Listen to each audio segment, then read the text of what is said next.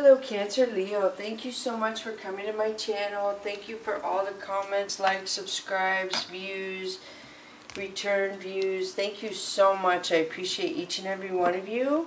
Please remember that I read the cards and you decide how they apply to you and if they can apply to you. There's no way this can connect to everybody.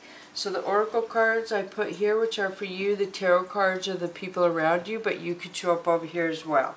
So use your intuition on when I'm talking about a card, on who it applies to. Your first instinct is probably your best choice.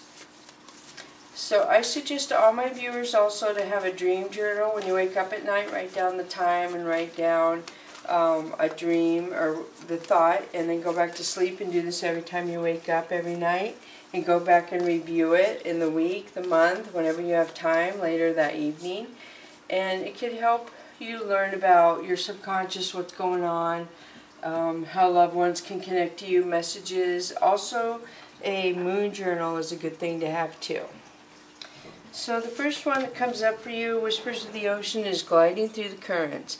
With a different approach, you will glide through a current situation with grace and ease, going inward, and bringing your understanding and perspective or behavior into the flow will help your dreams take flight. This is the manta ray. They swim with their mouth open because they get plankton. So I do feel like this has something to do with communication. I feel like you're going with the current, which is best for you right now, so go with what the energy around you is very important. And I feel like they're wanting you to talk about your emotions. They're wanting you to voice whoever's with you about what's going on with you instead of being closed off. And I feel like this person is going to reciprocate and communicate back to you as well. Just you two, like in a privy manner, so to speak, about your own personal situations. So for Life is Better Together, this is the pilot whale. They go around in pods of a thousand and they have one leader that everybody follows. Excuse me. So you'll notice the 13 if you add it is 4 and this is 4. I'm really big on numbers. 44, you can self-teach yourself about numbers by um, taking notes during my readings and then going and Googling the spiritual meaning of the numbers.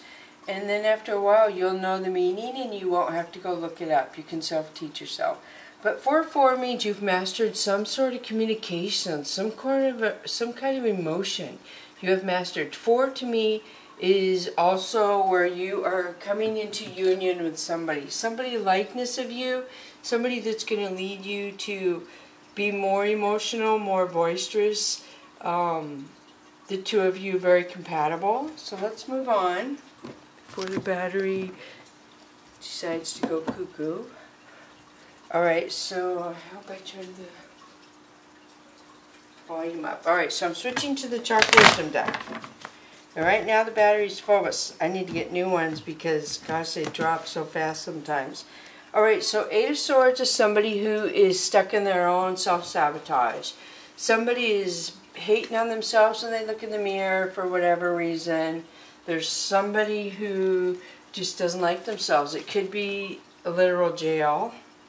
Ten of Swords. Somebody had a very severe betrayal, very bitter ending, very like overkill, meaning they really were very harsh in how they ended something.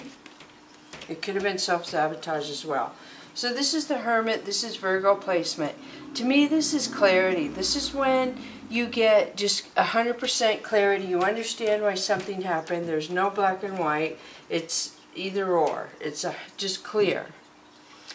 So Four of Coins talks about somebody being very blocked off in love. Their heart is blocked off and therefore their money is blocked off. So they're holding their money and their heart very close to them. And then you have the Sun, Cancer, Leo, beautiful. So this is two meanings in this deck. You have the Sun and you have the Chariot in this card. So the Chariot means travel, communication, moving possibly. So maybe you're wrestling with yourself about moving, um, your happiness, and then Queen of Coins. So Queen of Coins talks about a betrayal maybe from a female that was very, feel free to verse, reverse that to a king where that would apply to some of you.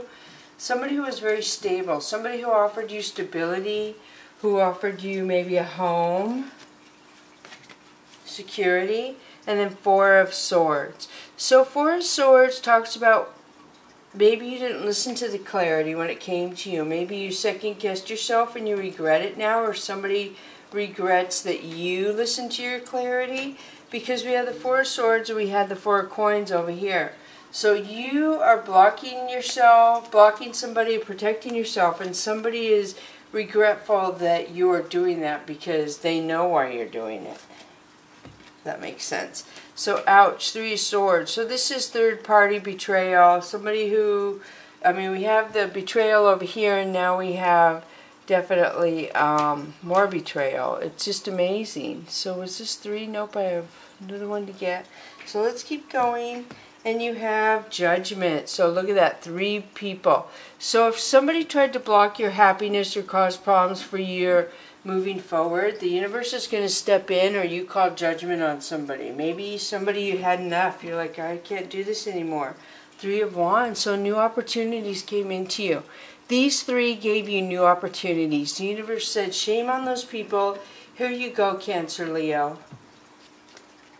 So, Four of Cups talks about somebody looking to the past, being very regretful, stuck in the past, wishing they would have done something differently and then Knight of Swords. So they're spying on you. They could possibly want to communicate with you. I feel like for some of you, they are coming towards you very emotional, very trying to uh, communicate with you. So Mystical Cats Tarot deck, you have Cat Magic, beautiful. So this says that a lot of you have manifested your future, your goals, you have faith, you stood your ground.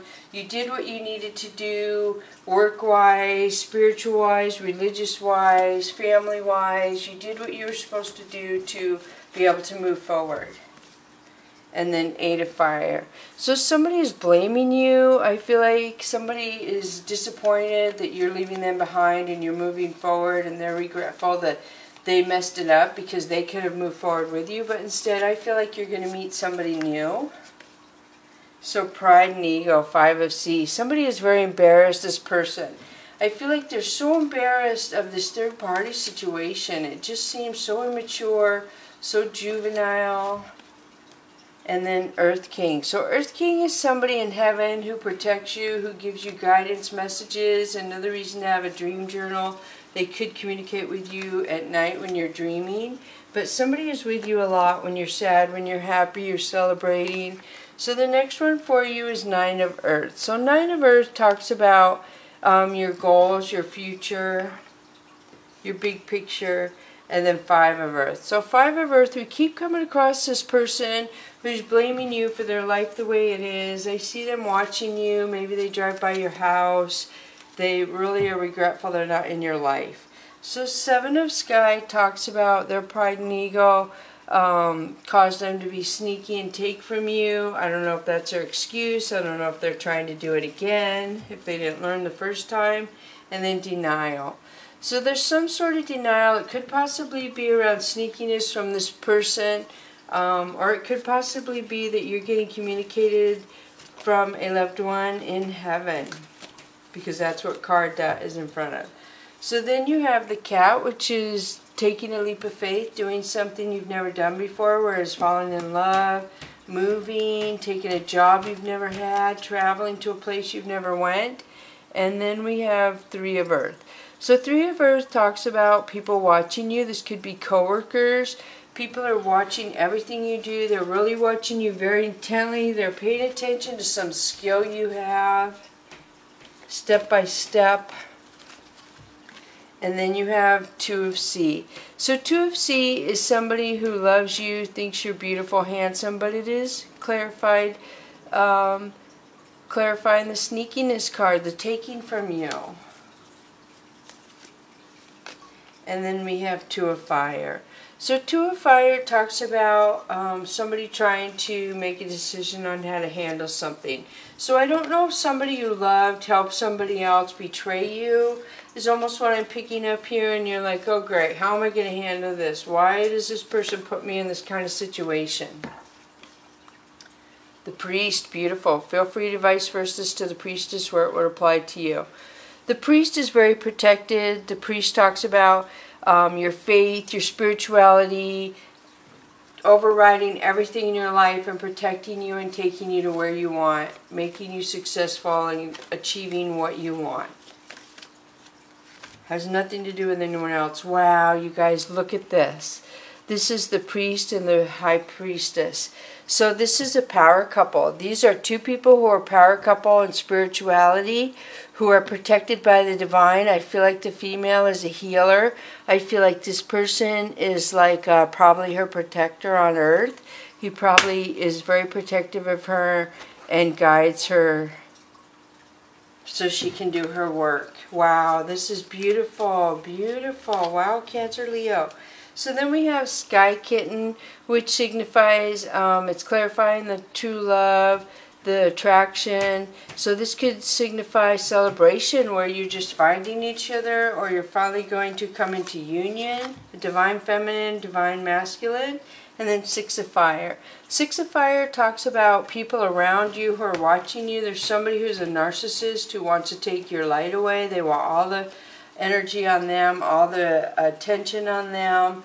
They're, I feel like they're a coworker, and people at work really fluff this person up, which does not help everybody else, or the people who don't fluff this person up. Alright, so I do see um, a lot of people around you. You're healing, you're very protected, you're moving towards more abundance. So let's move to the Oracle of E, Cancer Leo, and see what comes up for you.